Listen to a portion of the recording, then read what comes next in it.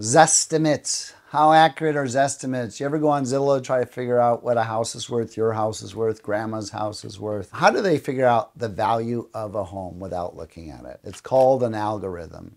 So these are all of the facts that are available via data that Zillow has put into this algorithm that analyzes the lot, the house size, the year built, and comes up with an approximate number based on what's going on in a neighborhood. But how accurate is it? It really depends on the neighborhood, it depends on the house. But what Zillow doesn't know is what upgrades were put in a home or how dilapidated a home is. They don't adjust for any of those things. They don't adjust for street location. There's a, I can tell you a very specific story of a home I sold built by a builder. The exact same home sold one block apart, but because one block was more popular than the other, it was a million dollar difference for the exact same home. Zillow would have no way of knowing that. So the accuracy of these estimates that you get from these platforms it's an approximate, right? It's approximately here, but the real range is probably this wide. And so you have to keep that in mind. And that variance can be 10 to 15% on either side of it. To get an accurate home valuation, it's best to sit down with a broker who will many times provide that information for free, or you can actually have an appraiser come out and appraise the value. But I've seen appraisers make a lot of mistakes too. So